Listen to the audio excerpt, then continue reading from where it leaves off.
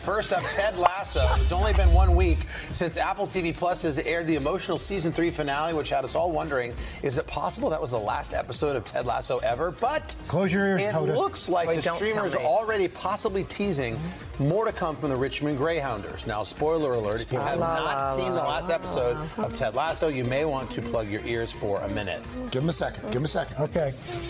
Okay. All right, check this out. This is the picture. Apple TV tweeting this image of Coach Beard, Roy Kent, and Nate standing in the locker room, simply capturing the photo. Smells like potential.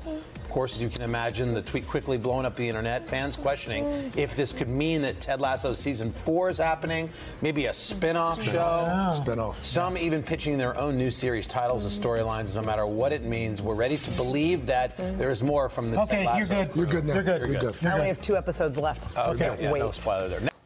Hey, thanks for watching. Don't miss the Today Show every weekday at 11 a.m. Eastern, 8 Pacific on our streaming channel, Today All Day.